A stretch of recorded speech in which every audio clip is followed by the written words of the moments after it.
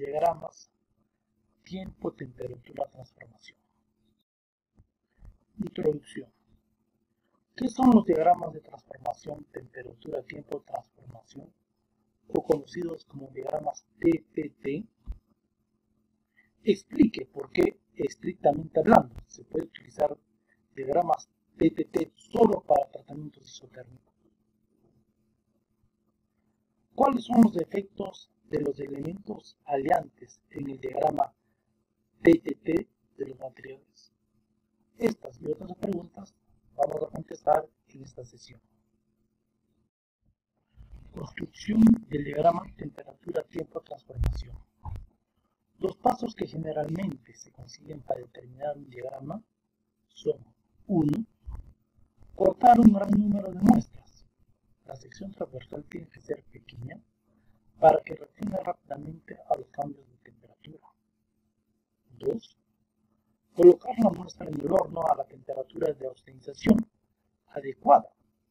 Se deben dejar a la temperatura dada por un tiempo suficiente para que toda la estructura del acero se transforme a austenita. 3. Colocar las muestras en un baño de sal fundida que se mantenga a una temperatura constante subcrítica, por ejemplo, a una temperatura de 704 grados centígrados, es decir, a una temperatura por debajo de la línea A1, las líneas críticas. Continuando con la construcción, el cuarto paso sería, después de variar los intervalos de tiempo en el baño, cada muestra se templa en agua o en sal enfriado con hielo. Quinto, después del enfriamiento a cada muestra se le toma la dureza y se estudia microscópicamente. Y por último, los pasos anteriores se repiten a diferentes temperaturas subcríticas hasta que se determinan suficientes puntos para graficar las curvas del diagrama TTT. Como resultado, yo obtengo esta gráfica. Y yo puedo decir, por ejemplo, la primera muestra estuvo en el horno de los 704 grados centígrados 30 segundos. Después de 30 segundos lo he enfriado.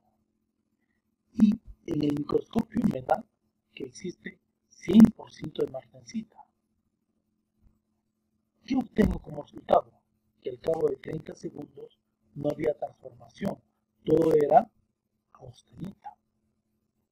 De igual manera, la segunda muestra estuvo en el horno a la temperatura de 704 grados centígrados 6 horas.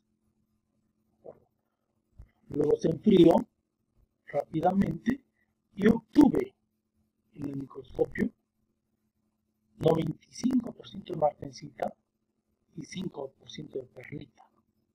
¿Qué concluyo? Que al cabo de 6 horas ya se estaba transformando 5% de perlita y existía 95% de austenita. Y así sucesivamente. Estamos nosotros construyendo el diagrama TTT.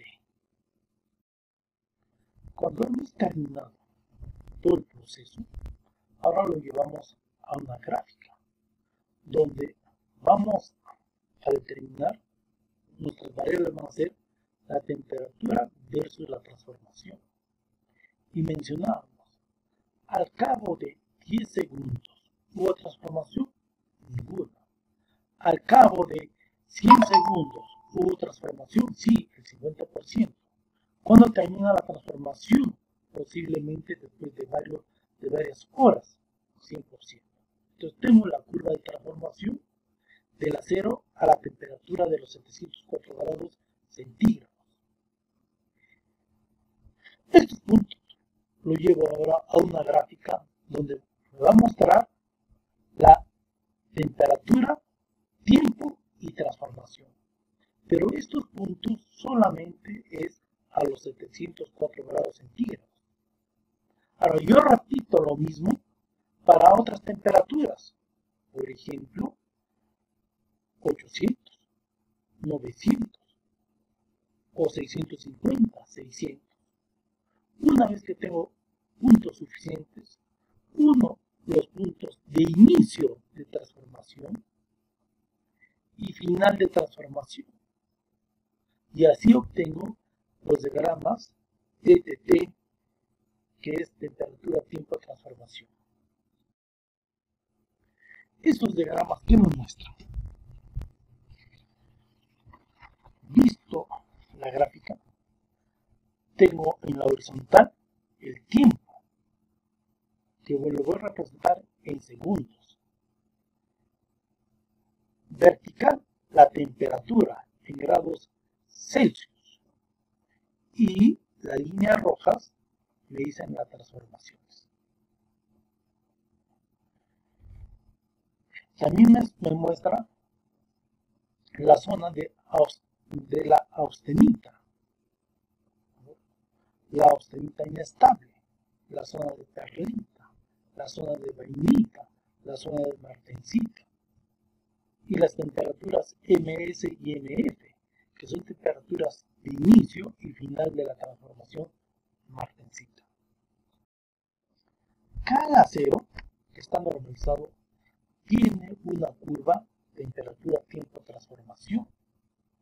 Por ejemplo, estamos mostrando un acero hipoeutectoide, cuyo contenido de carbono es menor de 0.8.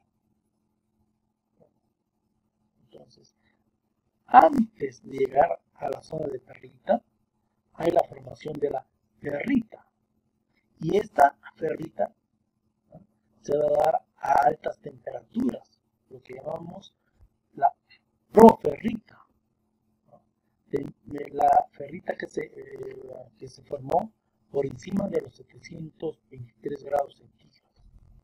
Si ven ustedes, en la parte superior tenemos la línea AC3. Me dice que es la zona de austenita. Entre AC3 y AC1 es la zona de los pro proferrita, el crecimiento de la ferrita. Una vez que hemos, ah, hemos cruzado la línea AC1, reciben el crecimiento de la perlita. 1 a 0, hipotrictoide. Dentro de su, estructura tiene ferrita, más perlita. Y este diagrama me está mostrando esos constituyentes. De igual manera, les estoy mostrando a ustedes 1 a 0 hiperepictoide. Un ácido hiperepictoide como fases, como estructura, tienen gramos de perlita más una red de cementita. Pero la cementita crece por encima de, de AC1 hasta ACM. Esta es la zona de la cementina. Cuando cruzamos el AC1, recién viene el crecimiento de la perlita. Entonces, hay que tener en cuenta con qué acero estamos trabajando. Si es un acero hipo, un acero eutectoide un acero hipereutectoide. No se olviden, cada acero normalizado tiene un diagrama de temperatura, tiempo, transformación. En los diagramas temperatura, tiempo, transformación tenemos zonas donde se ubica la austenita, la perlita, la vainita y la martensita. Los aceros tienen muchas velocidades de incremento. Esas velocidades de incremento van a depender del diámetro y de la severidad del medio de incremento. En un acero va a haber n velocidades de incremento. Si cada velocidad de incremento corta a estas curvas de transformación, como producto final, nosotros vamos a obtener la estructura. En este caso, ¿sí?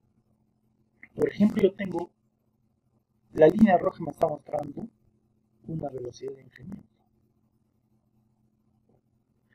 Estas líneas no están cortando las curvas de transformación. Van directamente a la zona de martensita. Por consiguiente, como resultado, nosotros vamos a obtener 100% de martensita.